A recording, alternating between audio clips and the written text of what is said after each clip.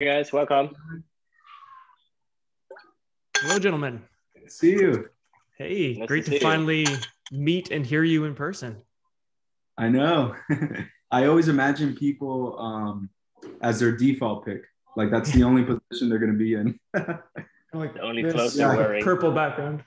that's exactly how I picture you. I feel, and it's funny because Jesse had the purple background forever, and I had to change uh, the Spaces Beta purple circle. Kind of was sort of being obsolete because there was no more beta testers, right? And so I was like, oh, how do I incorporate the purple? Because I sort of had infused it into my brand, and then so Jesse had the background purple. I'm like, that's the only thing I can think of, so I did it, and I totally copied you, Jesse. So um, paying homage to you, but also thanks for the idea. Still like an artist, right? yes. Uh, on my reading list, I need to read that one. But yes, exactly. So it's 2 a.m. in Bali. Is that right? Yes. Yeah, just Wow. shy th- three seconds. Yeah, John makes me wake up at such uh, such weird hours. So I'm gonna I'm gonna invoice him later on, but he doesn't know yet. Well, if you stayed, if you were still in the Netherlands, this would only be what uh, evening for you? Uh, yeah, they're six hours earlier, so that will put me at eight.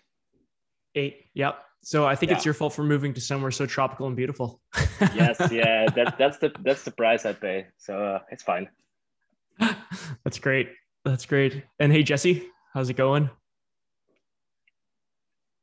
Nice to see you. A few other people whose names I recognize. Jennifer, great to see you as well. Jennifer and I, I'm in actually Jennifer's uh, audience and income uh, community, which is which is super cool. It's been a great experience so far. I I need to dive into it a little bit more than I have, but uh, her and Justin have been doing an awesome job. Hey, how's it going? They've been doing a really awesome job. Oh, and there's a puppy in the background. Um, leading that community. So it's been a, a new and great experience. So it's great to see Jennifer here too. Trevor, who I've uh, never met but interacted with on Twitter, and James as well. I think James is in the UK, if I'm not mistaken. And Anurag, uh, who I have also never met, but we've communicated a little bit on Twitter as well. So cool to see you guys all here.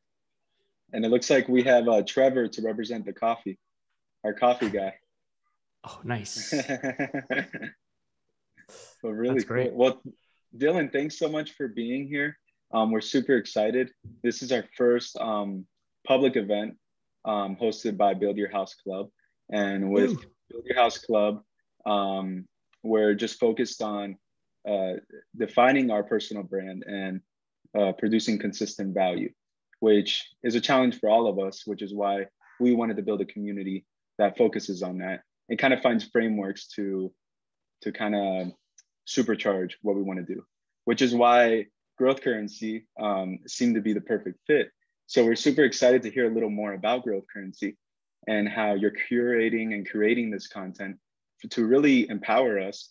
And it's a lot like what they say, which is, you know, knowledge is power, and you're equipping us and putting the tools in our hands. So we would love to learn a little bit about your journey and uh, your vision behind the newsletter.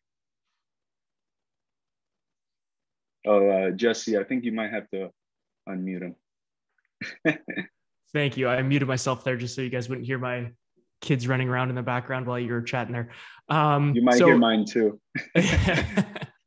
uh, so uh, yeah, I just a quick background for me. Um, I'm a marketer by day and just doing my, you know, my Twitter, having having fun on Twitter by night. Uh, actually, more so by early morning. I usually am up pretty early, um, around 4:30, 5 a.m. to kind of focus on that. So um, yeah, I've just been uh, enjoying growing the growth currency brand on Twitter and growing the newsletter over the last um, few months. And really, uh, I'll get into it in a little bit, but my journey is to kind of taking some turns as they always do. So um, we are here now, but it took a little while to get here. Very cool. Yeah. Um, can you, Dylan, can you tell us a little bit about um, what inspired your newsletter? What was the, Mhm. um, I guess, the aha moment, or what what gave you the heart to really start something and help other people?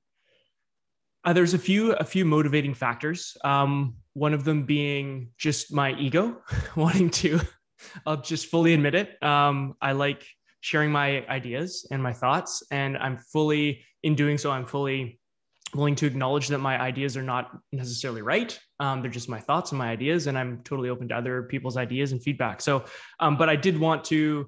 I felt like I had something to share, so I wanted to get that out there. So I started doing that um, on Twitter, just primarily as you know, really short form, getting that information out. And then I was writing some kind of mini essays, but I didn't really have a place to put them. I didn't have a website, and so I was like, well, I'll just start a newsletter because Substack is easy and you can start it for free and host things and you know get you know your mom and your dad and your grandma on your newsletter as subscribers and then you're actually sending it out to somebody because everybody's got to start somewhere right? So um so i started doing that and that was uh, january. Actually i wrote my first post in december of this past year of 2020 and then um it just kind of started formulating sort of what i wanted to do with it um, and it kind of grew from there. But uh, to answer your question, actually, my my inspiration or motivation behind it was um, Danny Miranda. I don't know if you guys are familiar with his podcast, the Danny Miranda podcast. I started listening to it in yeah. the fall, and uh, Dickie was on there, Dickie Bush. And um, he just, Danny said, you know, I started doing this podcast with the goal of just doing 100 reps. So he's going to do 100 podcasts before he changes his mind and and decides whether he wants to do it or not. And I'm like, well, if he can do 100, like dedicate himself to just doing 100 podcasts that sounds like way more work than doing like 100 newsletters.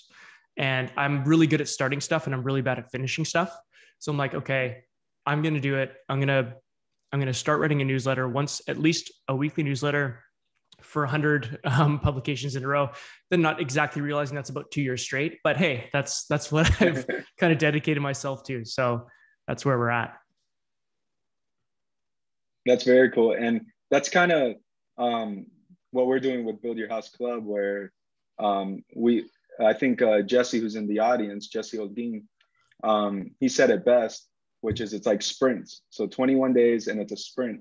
Mm-hmm. And um, I feel like, you know, when you start doing something like that and you pick, you pick a metric like 100 days, it takes a lot of pressure off and you can really focus on the craft and the discipline. Um, yeah. So I'm really glad, glad you said that. Um, so for those who haven't seen your newsletter, how would you mm-hmm. describe it? What if they open up their inbox? Uh, what what would they expect?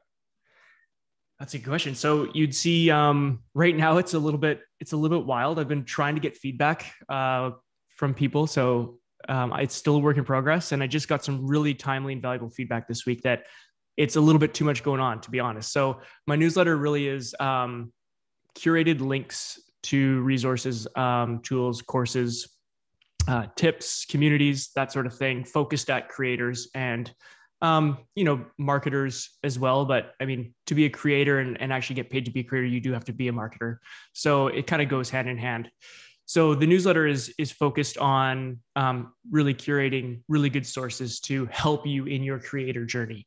Um, so you'll see lots of links in our last edition. Um, working on slimming that down because it's a little bit of an overwhelm, uh, as I've been told, which is the feedback I needed. So, um, yeah, that's what you'll see. Uh, I think I had Build Your House Club as one of the communities in our one of our my more recent uh, newsletters a couple right. editions ago, and um, and yeah, it's it's uh it's I I like it as it, I started it as a resource. If I was in the position of a creator, not really knowing where to start, what would I want, and so um, I thought I would kind of start something like this.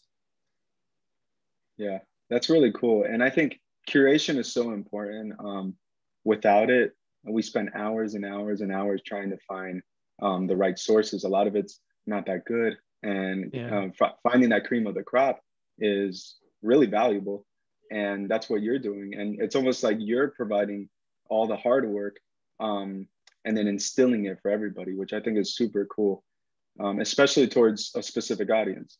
So creators mm-hmm. or um, which is really important. And creators can then spend more time creating um, instead of trying to Google and and find ways to optimize uh, what they're doing or to get better at their craft. So I think that's really really cool. That's awesome. Thank you. Thank you. Yeah. Um, so, what has been your biggest challenge with the newsletter? And you've mentioned a little bit. Um, yeah.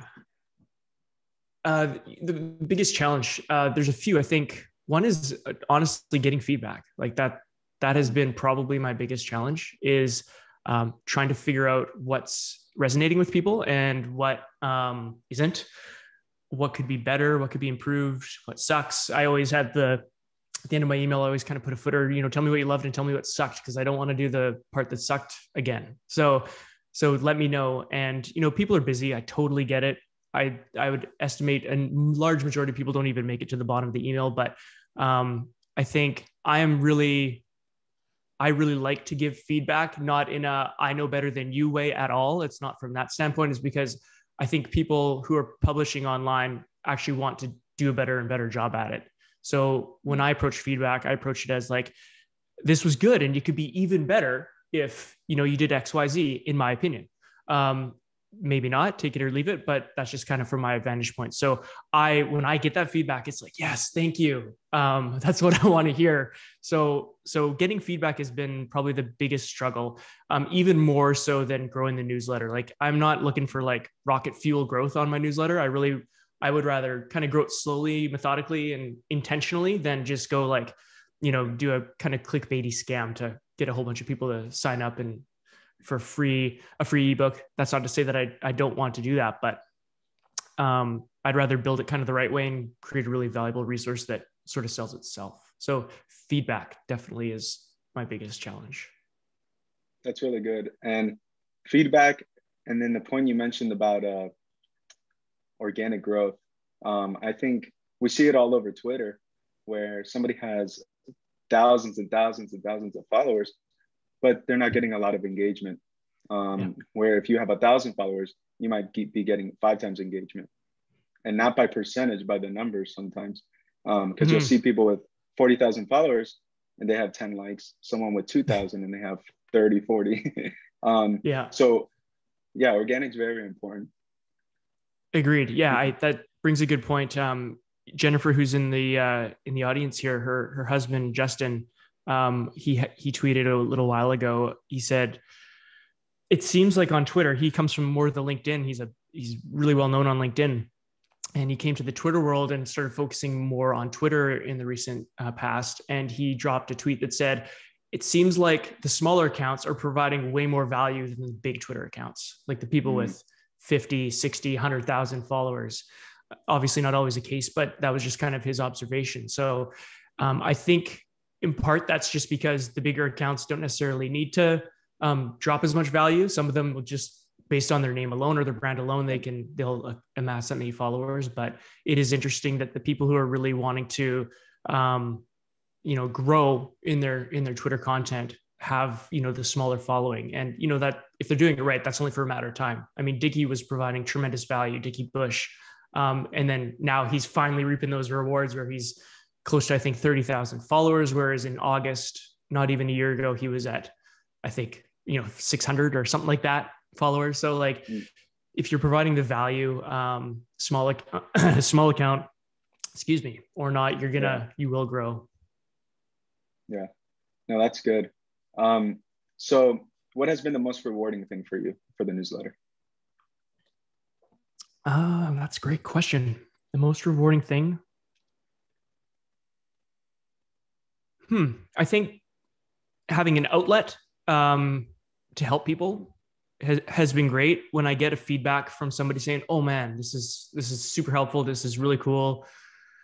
I didn't know about this. I wish I knew about this before." Um, that makes me feel like I'm doing my part in contributing to the creator economy and helping people, you know, live their dreams to some degree, even if it's just a small portion of it. So that's definitely been uh, I think that's definitely been the most rewarding aspect of it. Uh, like financially, I've not really gained.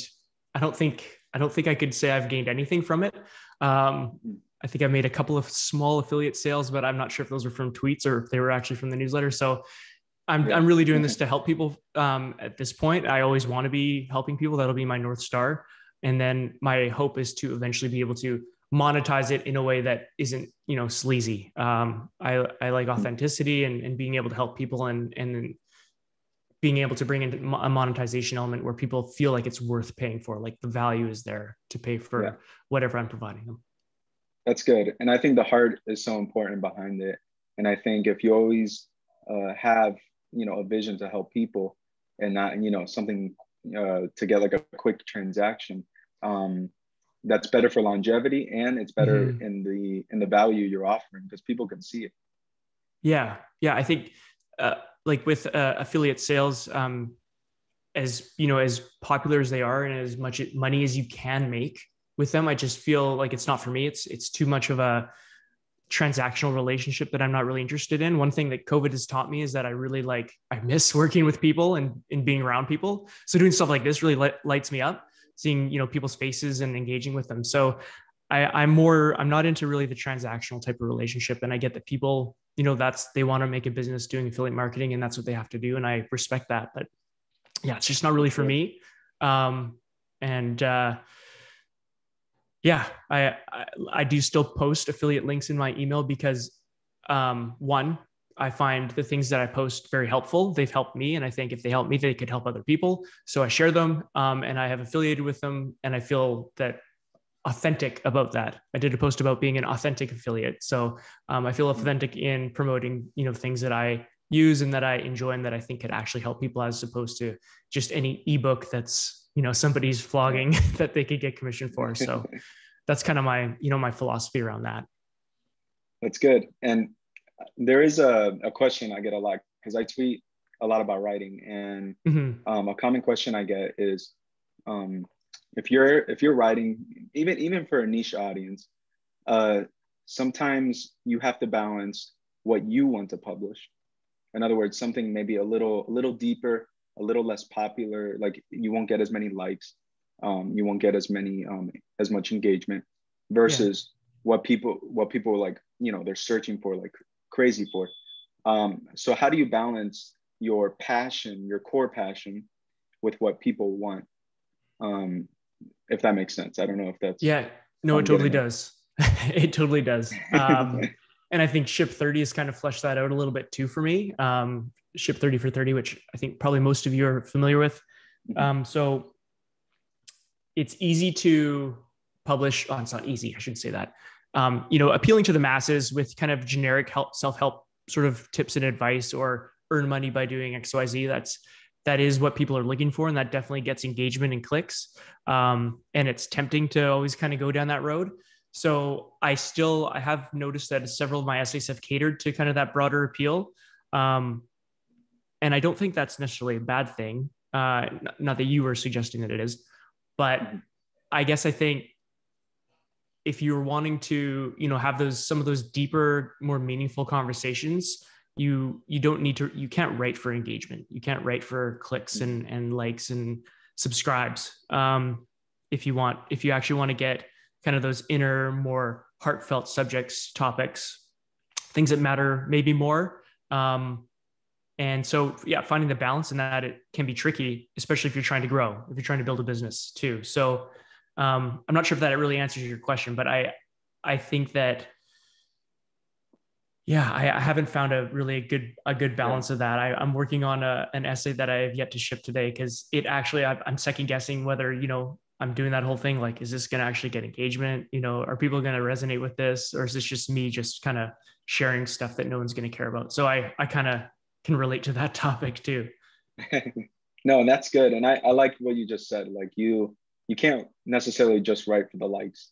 Um there and there is a balance, you know, it's it's what I want to write, what people need, and what's gonna resonate. Um and I think it's a hard question. I think if you put people first, um, you know, you, it's always eh, put people first, but then also write and publish um, aligned with your vision. Uh, Mhm. It's hard, but I think you know all of us will find some sort of balance in in that, if it makes sense. Um, Yeah, I think I think so. But people Yeah. will be able to tell too if it's not if you're not being authentic to who you are and For to your to your brand too. for sure. Yeah. All right. I have a question that we all probably struggle with. I know I do. Um, I know uh, my co-host with uh, Build Your House Club does. Is how do you deal with uh, imposter syndrome? Ooh, hey Jesse, weren't we just talking about this uh, yesterday? Ah. um, yeah, I tweeted Jesse uh, or DM'd him saying I'm not sure what I what value I have to really share, but um, yeah, so that's a great example of it. I think imposter syndrome for me is is kind of just that like I've been doing this only for a few months and you guys were so kind and gracious to invite me to to talk with you. But at the same time, I'm kind of like, I don't really know what I'm doing. and so I'm just kind of I'm I'm kind of, you know, figuring it out every day. So dealing with imposter syndrome, I think is it first, you know, admitting that you don't know and it's okay not to know. Um, and and just accepting that most people are in the same boat. Um, also realizing that just because you don't think you have value to share with people doesn't mean that you don't. I think we're all caught in this kind of um, you know, some people call it knowledge blindness or curse of knowledge, or you know, this kind of trap of you're you're in your everyday routine and it, what feels mundane to you um, might actually be really helpful to other people. So I think we all need to realize that we do have something that we can add uh, to the conversation, and and um, yeah, just because, like I said, just because you don't feel like you are helping people doesn't mean that you're not. You just you just don't know until you try. So dealing with the imposter yeah. syndrome is challenging for sure. Um, and yeah, I I just kind of take it take it day by day in stride. That's good. How, well how do you guys how do you guys deal with it, or do you do you not have to? That's a good question. Um, for me, I think I think it's a daily struggle, but I think when I remind myself a little bit in a humble way, not in a prideful way, but like the things, sometimes I forget to look back and say, what have I accomplished? Um, it's always like, what haven't I, what haven't I done? Um, yeah. And when I, when I look back at my challenges, when I look back at where I am today and where I was, um, that helps a lot. And then it's just like what you're saying is most of the time, nobody really knows what they're doing anyway. Um, so I think it's funny because it might sound uh, counterintuitive, but to battle imposter syndrome, it takes humility. Because mm. I think a lot of times it's, it's a pride issue. We think we're not good enough because we expect ourselves to be higher. Um, Interesting. There's a, a higher image of ourselves. So, what does humility look like in that perspective? It's it's being a student. It's uh, always seeking to learn. Um, mm-hmm. And if you're always seeking to learn, and and you're open that way, I don't think uh, you're going to face moment too many moments of imposter syndrome because you know you're not putting yourself on a high pedestal. You're always learning and you're humble and you're always a student. Um, that, and you're always curious. That that's a really good point actually. That reminds me john um, that uh, i don't know if you guys are familiar with jay Acunzo. Um, he's got a, a great podcast called um, i'm going to forget what it's called so i'm not going to try to remember but uh, he's got a great podcast. Look him up. Um, and he has this concept called um, being an explorer versus being an expert. So if you approach a subject um, as an expert and you kind of have that mindset and you're trying to teach something as an expert, you know, you're bound to run into imposter syndrome. Of course, unless you maybe are a true expert in the field. Whereas if you approach a topic and you want to write about a topic and you you don't think you're an expert and you you hesitate to write about it because you don't think you're an expert explore it um, approach it as an explorer as somebody who's just kind of learning and figuring it out with the reader as they go so you're not um, I, I think that's at least a good framework for me to kind of defeat that you know i need to look like i know everything to the people that are reading if you if you approach it from more of an explorer standpoint i think or mindset that kind of alleviates a bit of that so yeah that that's great i've yeah i've tried to sort of keep that mindset. I, I forgot about that. I should remember, but I forgot about, about that when you asked me. So I think that's a great, a great framework to use. Yeah, that's perfectly said. Um, all right. So Twitter growth. what's your what's your biggest advice on growing on Twitter? If you had to give it, you know, in a sentence or two. Yeah. Um, for people that want to grow. Oh man, brevity is not my strong suit. um, so engage with engage with others would be kind of my number one thing um, mm. Be engaging ask questions and provide value. I know that's sort of generic saying provide value but we all have kind of a niche or an area of interest. We can provide value as explorers um, and as experts. But if we are you know humble authentic and we can engage with others and ask you know good questions um, i think that's really that's where i've seen the most success Yeah, no, that's great, and and I agree. Engagement, um, you know, providing value, but building relationships. Yeah. And when you mention engagement, it, it makes me think of that. I think Exactly. the most when I link to the most or to the moments of my biggest growth, um, like you know, one day all of a sudden, um, a lot of people follow me, or um, in, in one week I'm doing really well. It always has to do with relationships. What's happening in the DMs? Mhm. Um, somebody that I got to know retweeted something, and then that caught on. Uh, Yeah. And if you're doing Twitter right, um, it usually starts with you engaging with people. Um, they follow you. They they start seeing your tweets. Mhm. You start messaging them on DM, and then now you're doing video chats and phone calls, and it's amazing Yeah. how many like friendships you're building. You know, it Um, is. and in this chat we're all over the world and uh, i know for sure there's a 12 hour uh, time difference right now um, so it's just amazing to see how big of a world twitter can open up for you so i think those points are great that, that you're uh, giving for growth Thanks. I, I'll maybe add one more just as you're talking to remind me. Uh, consistency is pretty important too. Um, Oh, it's yeah. important with everything in life, but like showing up, um, contributing daily, even multiple times a day is awesome. Um, but consistency would be, would be, I would say, a kind of a, a linchpin of success in on Twitter. yeah for sure and uh, dylan there's a question in the chat Mhm. i don't know if you can see it Yeah. Let me just grab that. I'll read it out loud that way. Okay. Um, everyone can see it. But how will you define asking good questions? To me, it fits into the extremes of being stupid and being an expert on asking a question. Don't know if it is just me or does it happen to others too.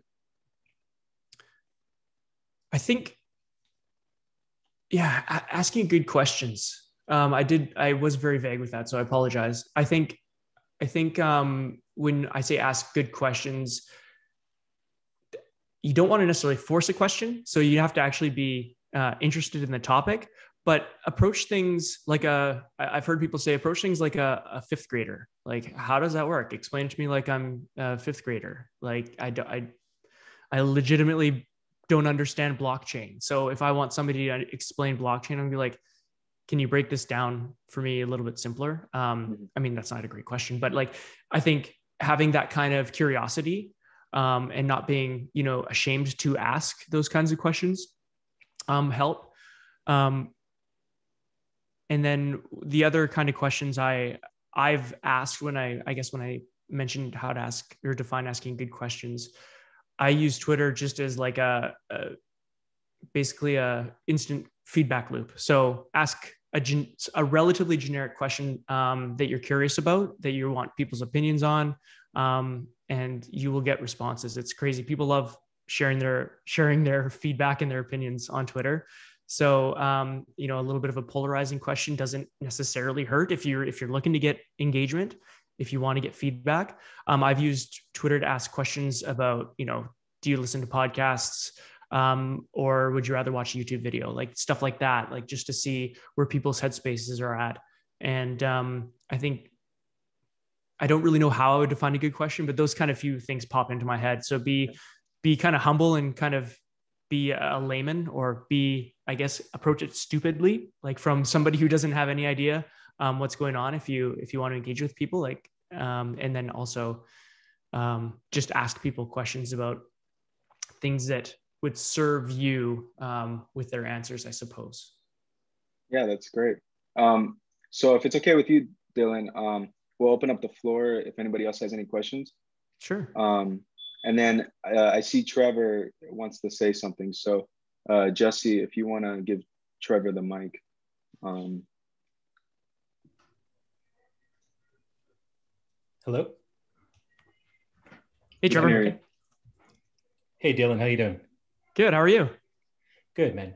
Uh, nice to see you. Nice to see you face to face Yeah. and chat. You too. Uh, I just wanted to add something uh, quickly to, to what you were saying because that uh, really hits home for me. Um, John and Jesse all know that in my in my professional life, I'm a teacher, and just that notion of good questions and and what does good question mean, and and and that's something that we ask ourselves a lot when we're standing in front of like 30 or 40 kids.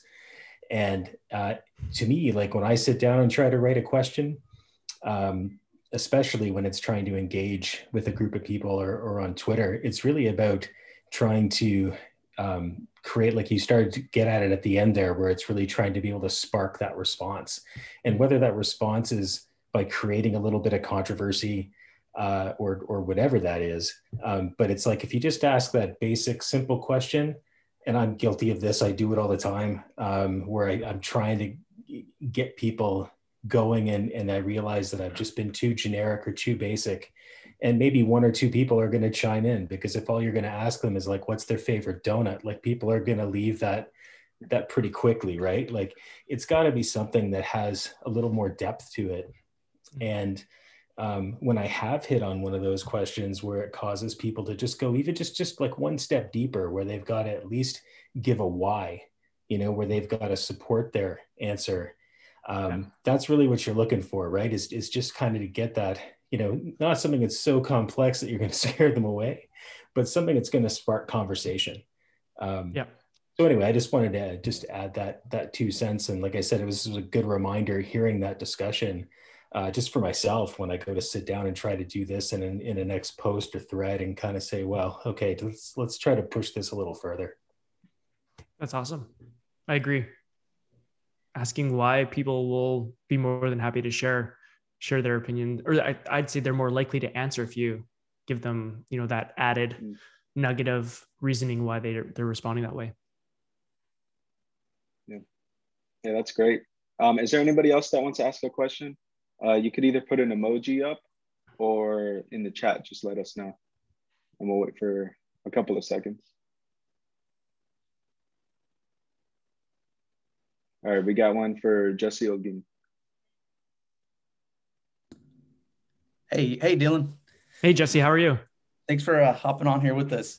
No, hey, man, no you had Thanks something cool you said earlier. You know, uh, you said, you know, to be a creator, you you have to be a marketer, right? I love how you said that because I'm coming from, you know, Songtown, Nashville, writing songs, but I appreciate awesome all the marketers and writers out there. That's kind of why, how I found John and Jesse, but if if you have to be a marketer, um, who who is like your top three marketers of all times that you would follow, or or maybe one or two that hey hey go back and check out this check out the, what they're doing either on Twitter or, or somewhere else. Yeah, Damn, that's a that's a good question. Okay, so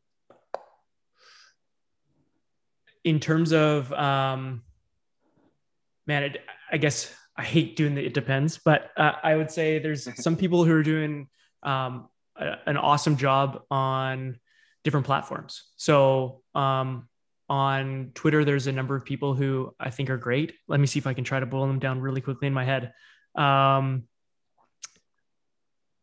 I think just because of the you know the industry they're in, um, Blake Emal on on Twitter he's the CMO um, for Copy.ai, and he's doing a fantastic job by leveraging his Twitter, um, his personal Twitter, to really help grow Copy AI. They're running uh, weekly workshops with different creators um, and different um, professionals to help grow that that channel. And then he's dropping these like super amazing threads that you know have me like just like shaking my head and like, I wish I could write a thread like this of this high value. So Blake Emal, I think it's Hey Blake on Twitter. Okay. Hey Blake. Yeah, yeah, If you're not following him, you, you probably are. But uh, yeah, he is he's the king of threads right now. yeah, he's right up there at the very least. So um, Blake is one who's who's crushing it on Twitter. Um, and then you know, going over to LinkedIn um, as another platform that I've I've been on. Um, not as much in the recent past. Twitter's kind of consumed me over the last six months. Um, but from a pro- professional standpoint, there's people. Um, uh, Justin Welsh has been doing a great job on on his platform how to kind of grow your niche um, and build your niche and kind of message build your message. Um, and I'm not just saying that because Jennifer's here, but uh, he he really has been an inspiration for me. Um, and then Dave Gerhardt from I want to say either Drift or Privy. I can't remember I guess he's not doing a great job because I can't remember the company or store, but I remember his name and he's doing a great job. So Dave Gerhardt on LinkedIn, and there's one more um, on LinkedIn, Dan. Oh shoot, no, it's gonna it's gonna escape me now. But uh, I can I can go get back to you on that one. Uh, no, Um, hey, I but appreciate tho- it. those are those are a couple a couple great names that I see on LinkedIn and on Twitter. cool. Cool. Thanks. John, Jesse, do you guys have any that you'd want to add to that? Um, I always I always recommend uh, Jerry Moser because he's um Hmm. he's more SEO focused, but definitely touching on marketing. He's a good friend. Uh, we hosted him a couple weeks ago for our intern our internal live office hour. Um, but he's really great because he he provides valuable content, but it's always linked with experience, which you don't see as often on Mhm. Twitter. Like you you might see like really great points, but um, not maybe like a practical example, a real life example. And he does a lot of that. So I really like him. Um, Jesse, I don't know if there's somebody else you want to mention. And then there's Uh, obvious people too, but Yeah, those big accounts. not include that. Yeah. Um, I think there is this guy. He writes a lot about marketing for freelancers. I think he's Ti- Tim Hmm. Her- Hirst, and he has a Oh. great tweet threads about just value packed about how to really get started. So especially when I first started my freelance career, but also started the, the Twitter journey, I took a lot of uh, value out of those threads. So that's a good account to follow. Um, and yeah, for obvious reasons, of course, Blake is a good example to just get inspired from and then pick small bits and pieces to use in your own threads. Um, and I recently stumbled upon the account of Alex Garcia. I think he's doing Mm. the marketing for the, the Hustle, the newsletter. And okay. He he does, he has this, this big ass threads with such um, like a lot of like real life examples business cases, all geared towards marketing.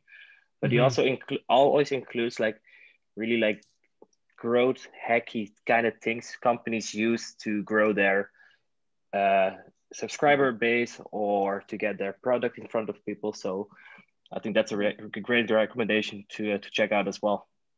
Yeah, I just threw his um his handle in the chat there. I I featured one of his threads I think last week in my newsletter as well. It, it was just it was loaded. Great Definitely. hmm That was a great Oh. question, uh, Jesse. Sorry, I got I got one more um, Twitter marketing specific, just how to use Twitter as a platform and the features and stuff. Um, Madalyn Sklar. Um, I don't know if you have heard of Madalyn. She has about 35 or 40,000, oh, might even be more than that followers. Um, and she hosts a weekly Twitter Smarter. Her hashtag is Twitter Smarter, which is a pretty, pretty fun hashtag. And she's been doing um, digital marketing for several decades.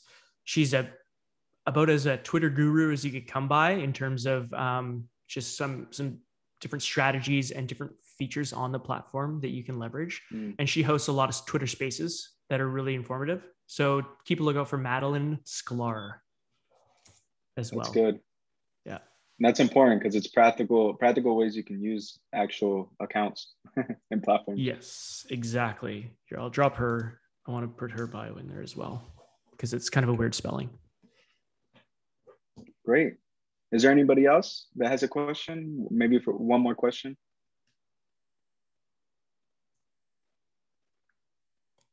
Awesome. Well, Dylan, thank you so much for doing this. This has been awesome. Um, It's been my pleasure. I, I love how I can finally meet you on video and with so Yeah. many people too. Um, it's been really, really um, educational and valuable to hear uh, the story behind growth currency and your heart behind it. Um, and we're really excited to see it continue to grow and along with all the readers. Um, so we're really excited about that. Yeah. So where can, what, what's the best way people can find you? Uh, Twitter's kind of my home base right now. I don't have a website. Uh, I leverage Substack as kind of a makeshift website. So just go to at growth currency, which I think most people here are already, you know, following along. And then my Substack is in the profile, but it's growthcurrency.substack.com, I want to say. Um, and you can don't have to subscribe, no pressure, but you can check out all my posts there. I do a weekly Tuesday newsletter. So those would be the two main places. Awesome. And I'll Yeah. uh, leave it to you, uh, Jesse Van Bruggen.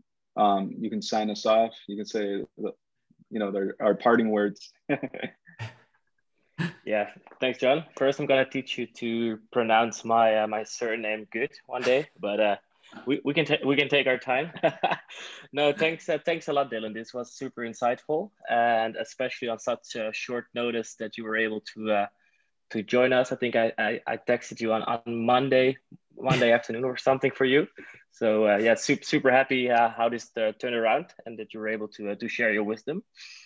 Uh, yeah, so uh, so like I like I said, I'm gonna add some words to John. Like the growth currency thing is that I think one of the few newsletters on Twitter that's actually like built in public on Twitter, which is mm. uh, which I think a great thing. Um, and yeah, definitely for those people that are more interested, I feel growth currency kind of leads people into the rabbit hole because when that when I open the email, I'm like, okay, these are some some topics for me to indeed explore instead of being on Twitter, which is like the, the high paced platform. So definitely uh, keep up with with the good work. Uh, Thank you. So thanks for sharing those insights. Definitely some some valuable bits and pieces there to take away. Oh, and uh, awesome. Mm-hmm. Last thing, last thing. If anybody um, wants to join Build Your House Club, uh, we do have a special code. Um, make sure to visit our website, buildyourhouse.club. Um, sign up, and with the word growth, uh, you get 15% off in the next like 48 hours. Um, so there is that. Hey, Dylan, you were going to say something? Yeah. I was just going to say, could you guys do a quick uh, elevator pitch for Build Your House Club for me? Absolutely. So, yeah. Okay. Yeah. well, I'll, I'll wing one. Um, okay. Build Your House Club is basically it's a cohort, and we're really just focused on defining your message, defining your personal brand, and providing consistent value. And we do that through live office hours, but we all uh, take part on a 21 day challenge. And we have a framework. It's called micro threads, but basically we post on Twitter every single day um, for 21 days. And part of the cohort is community. It's a course. Um, and then really everyone that leaves out of it knows exactly who they are, what kind of value they want to share, and how to communicate it. awesome. Well done on the spot. Yeah. That's great. Awesome. Well, everybody make sure to check out Growth Currency, subscribe, and uh, thank Dylan when you can on Twitter. Thanks so much for joining, and we'll see you next yeah. time. It's great seeing you guys all here face to face. Thanks a lot, guys. Have a have a great rest of your day. you as well. Have Bye. a good sleep. yeah, for sure. Yeah. Thank you a lot. Bye, guys. See ya. Bye bye.